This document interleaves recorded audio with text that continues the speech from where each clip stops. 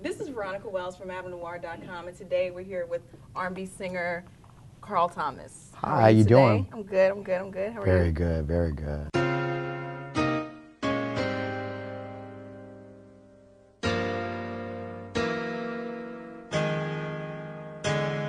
It was love at first. Tell us about the sound and the direction of Conquer. Conquer, Conquer is hero music. Mm.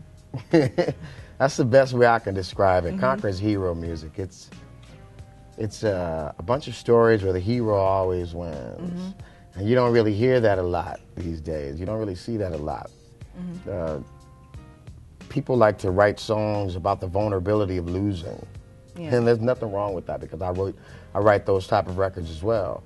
But Conquer, the title track itself, is actually about allowing love to do what it naturally does, and to encourage people to relax and not fight in areas where they need not mm. do it. You know. Yeah, it's a good lesson. It's a good lesson. We're gonna do a little R&B trivia game with Mr. Thomas. So the first question that we have for you is, it's a name that song. I'm just gonna Oh, read the oh, lyrics. I'm just gonna read the lyrics, and you tell me what song it is. The song is "Close Your Eyes, Make a Wish, and Blow Out the. Candlelight." By who? It's by Boyz II Men, written by L.A. and Babyface and Daryl Simmons. Close your eyes, make a wish.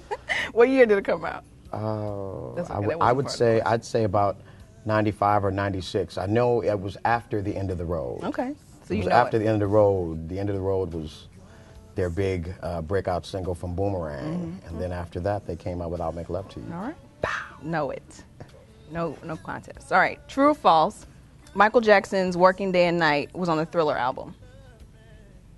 No, True or false? Your hit "Summer Rain" was inspired by Stevie Wonder's "Summer Soft."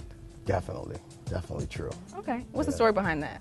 Uh, the story behind that is a lot of people really don't. It's really, really funny that Mm-hmm. you asked me that because the story behind Summer Rain is that uh, that you know, Heavy D is actually responsible for Summer Rain. Yeah. And a lot of people, a lot of people don't even know that. They don't. Mm-hmm. A lot of people really don't even know how deep Heavy D was in soul music, but they forget.